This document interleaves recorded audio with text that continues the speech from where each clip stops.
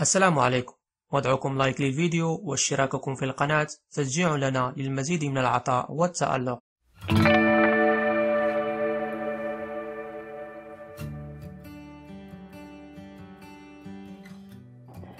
كل سنة وأنتم طيبين.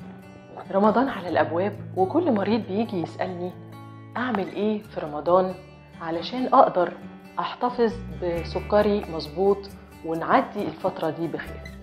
عايزة أشارك المشاهدين بثلاث نقط مهمة جدا. أول حاجة في أرقام مهمة جدا محتاجاك تعرفها علشان تحتفظ بسكرك سليم. تاني حاجة وهي الأهم نفسي كل مريض يلجأ للطبيب بتاعه لمدة شهر على الأقل قبل رمضان علشان كل ما نحافظ على سكرك ويتظبط الجرعات العلاجية بتاعتك قبل ما نبتدي رمضان طول ما أنت كده هتبقى في السليم أقول لك الثلاث أرقام المهمة. أول حاجة لو أنت صحيت الصبح لازم تقيس سكرك واحتفظ بالثلاث أرقام دول في ذهنك. لو سكرك أكتر من 300 يبقى لازم اليوم ده هنكسر صيامنا لأن مش هنقدر نكمل لأن السكرات هترتفع أكتر من كده.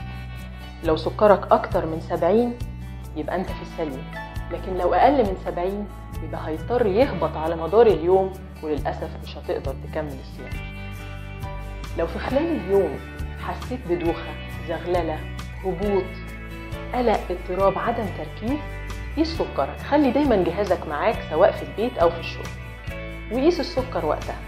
لو لقيت السكر أقل من 60 يبقى لازم وقتها تكسر صيام.